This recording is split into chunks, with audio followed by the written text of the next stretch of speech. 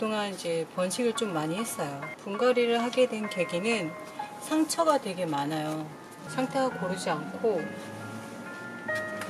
그리고 여기 보시면 제가 몬스테라를 번식하는 방법은 음, 처음에는 그냥 이제 매듭 매듭마다 지금은 제가 번식은 이렇게 해요. 기존의 줄기에서 제가 원하는 뿌리에 있는 부분을 자르는 거죠. 이렇게 새순이 나와요. 안정된 자리에서 번식이 가능하게 된 거죠. 뿌리도 많이 커지고 몸살이도 덜하는 편이에요. 이렇게 되면 번식을 한 1년 정도 됐고요. 음,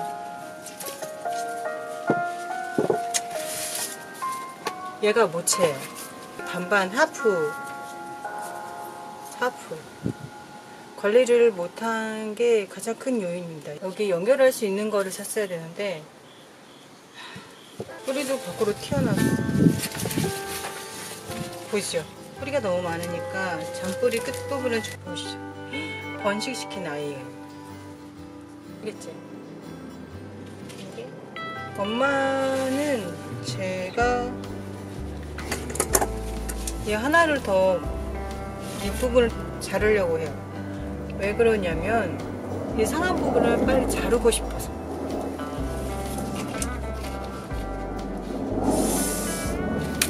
이렇게 잘라냈어요. 그러면 지금 5주까지 하면 다섯 개가 됩니다. 밖으로 나왔던 뿌리도 안으로 넣어주고 앞으로 1년간 더 키워야 하기 때문에 살짝 눌러주면서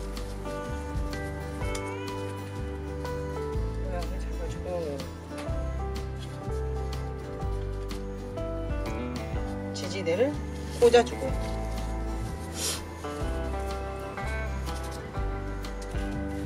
모주 분갈이 끝 모주는 이렇게 모주가 무늬가 좀 세력이 좀 이상하죠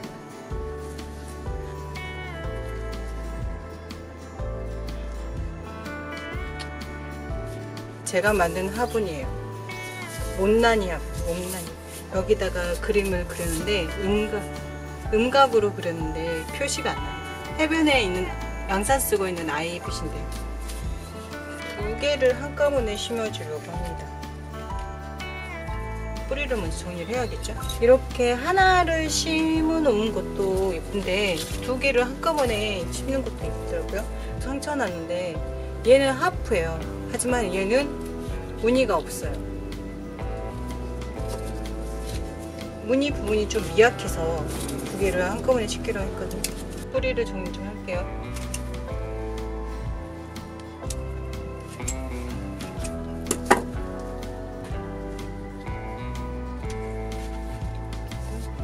뿌리 자른다고 해서 얘가 죽지는 않아요.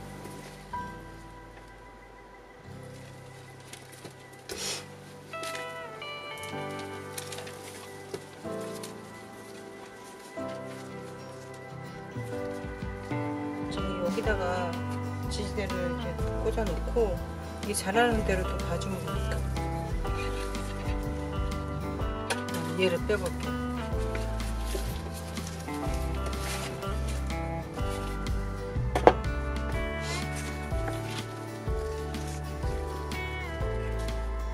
얘도 뭐 뿌리가 상당히 많죠? 뿌리는 뭐 걱정할 필요도 없고 없어요.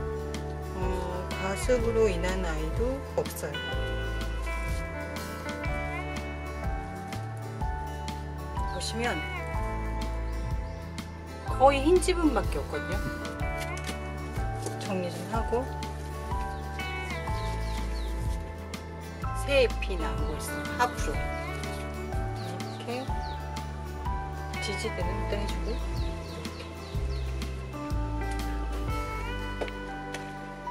번뇌가 있을 수 있기 때문에 방역을 합니다.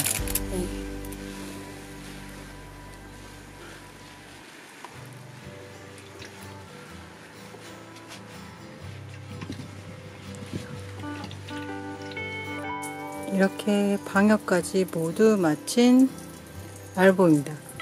두 개에서 다섯 개가 된 알보.